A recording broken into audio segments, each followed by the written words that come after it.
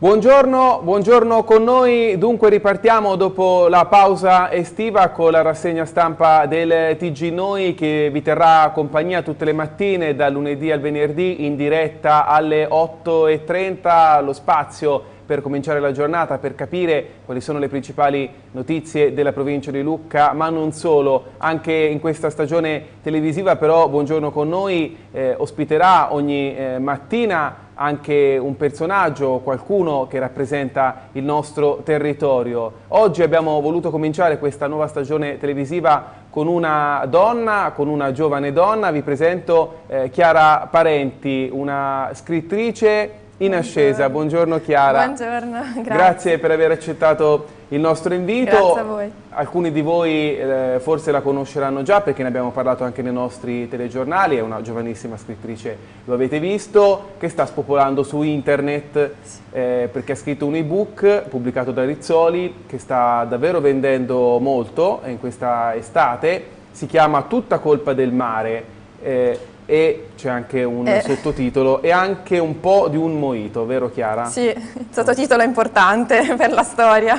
Tra poco ci racconterai un po' insomma, come nasce questo romanzo, eh, invoglierai molte persone che ci stanno guardando magari sì, a, a, leggerlo ed acquistarlo. Eh, prima però eh, voglio aprire lo spazio dedicato ovviamente alle notizie eh, principali della giornata. Allora come di consueto vi faccio vedere subito le prime due pagine della Nazione del Tirreno, i quotidiani della provincia di Lucca, qui siamo alla cronaca della eh, piana di Lucca. Ecco qua il titolo principale della Nazione prima pagina, pistola in faccia, rapina alla Conad, colpo all'ora di chiusura a San Filippo, ma il direttore reagisce, il bottino è di appena 2.000 euro. La notizia che anche noi ieri sera abbiamo dato nel telegiornale, il fatto è venuto eh, sabato sera proprio mentre Lucca stava festeggiando la Santa Croce con la processione e probabilmente questo malvivente ha anche approfittato del fatto che le forze di polizia fossero impegnate eh, nella, nella, processione di Santa Croce per garantire la sicurezza.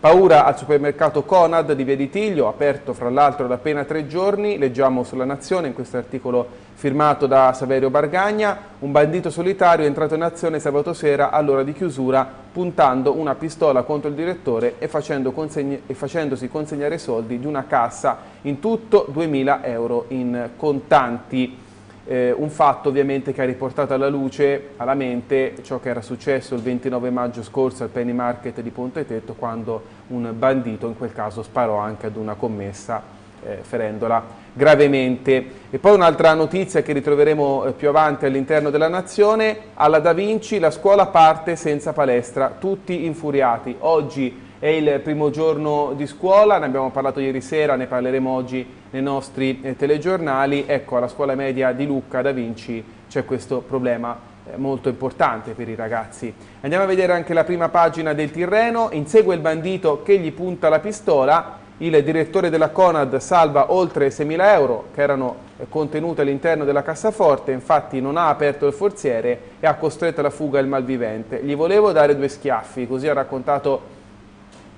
a Luca Tronchetti, cronista del Tirreno, il direttore della Conad, Giuseppe Ristori. La rapina eh, conferma appunto nella ricostruzione anche il Tirreno, è venuta sabato sera poco prima delle 20, all'interno c'erano due commesse, tre clienti e appunto il direttore. Troviamo più in basso un'altra notizia di cronaca, ottantenne cade in montagna, è grave, stava facendo un'escursione all'orto di donna, trasferito in elicottero all'ospedale di eh, Cisanello, eh, ricoverato per un trauma cranico e spinale causato da una caduta mentre in compagnia del figlio stava camminando lungo un sentiero a Orto di Donna nel comune di Minucciano. Si tratta di Damiano eh, Monficalone, 80 anni, residente in provincia di Firenze. Queste le prime pagine dei quotidiani cartacei, allora vi faccio vedere però anche la prima pagina eh, di Noi TV, del sito internet di Noi TV e in apertura trovate la processione di Santa Croce in eh, forma integrale.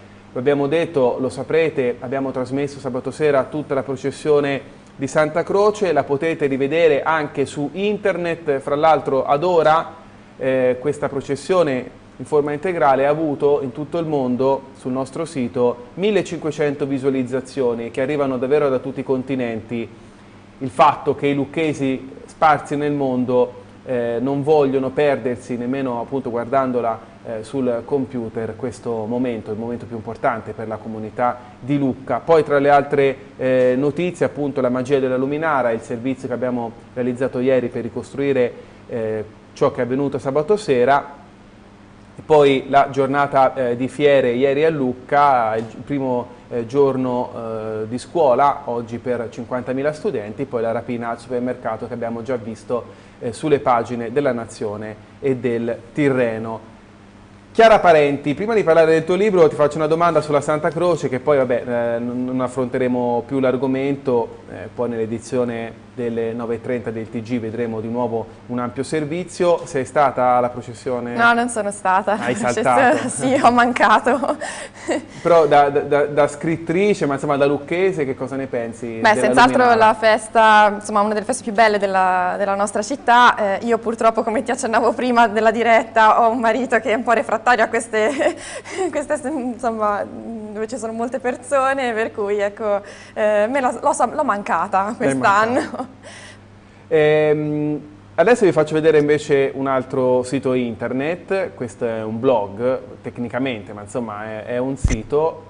Eccolo qua, tutta colpa del mare e anche un po' di un moito, un romanzo di Chiara Parenti edito da Rizzoli nella collana You Feel da dove partiamo? Dal successo che hai avuto o da come nasce questo libro? Dai, allora, dal successo che hai avuto, decido io. Ok. Eh, lo abbiamo detto nelle settimane scorse, ma ti stai confermando anche in questi giorni. Libro che sta spopolando, così ho detto, su internet, in particolare sul, sul principale eh, portale per comprare eh, ebook, ovvero Amazon sta andando benissimo. Ti aspettavi questo successo? Assolutamente no, mm? totalmente inaspettato. Ecco, anche la reazione delle lettrici che appunto mi, mi, riempiono di complimenti, insomma vorrebbero anche un seguito o un'edizione un cartacea e quindi ecco no, assolutamente non mi aspettavo niente di tutto questo.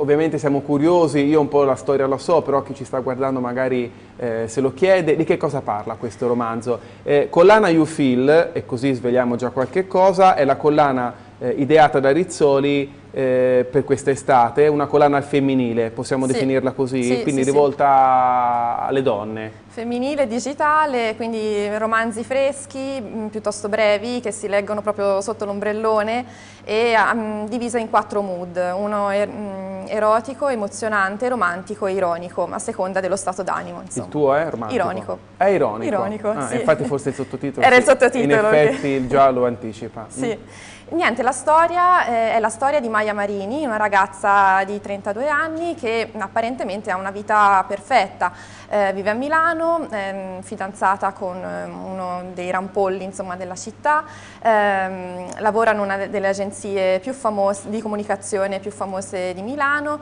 e quindi la sua vita sembra andare a gonfie vele. Ehm, in un'estate parte per, ehm, per diciamo insieme a, quattro a tre amiche uh mhm. -huh. eh, per l'addio al nubilato di una di queste, la sua, mia, la sua, migliore amica Diana, che poi sarebbe anche la sua futura cognata.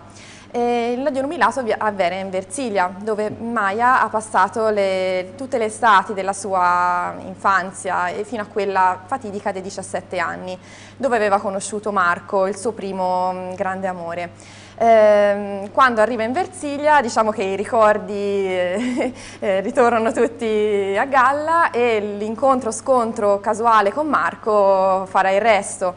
Non eh, svegliamo cosa farà. Eh. No, però diciamo qualche moito di troppo in una sera appunto in questo folle addio al nubilato eh, diciamo scombinerà un po' le carte della sua vita e quando mh, lei si sveglierà la mattina dopo non ricorderà più niente di questa folle serata eh, tranne tranne il fatto che lei non, lei non, lo sa, ma lo sanno tutti i suoi amici di Facebook, perché ecco, diciamo che durante la notte sono successe molte cose. E l'ha postate su Facebook? Sì, ecco. e, ehm, quindi ecco, quando tutto sembra perduto, quindi tutta la sua vita, la sua carriera sembra finita, in realtà Maya si renderà conto che forse quello che sembra la fine di tutto, in realtà è un nuovo inizio.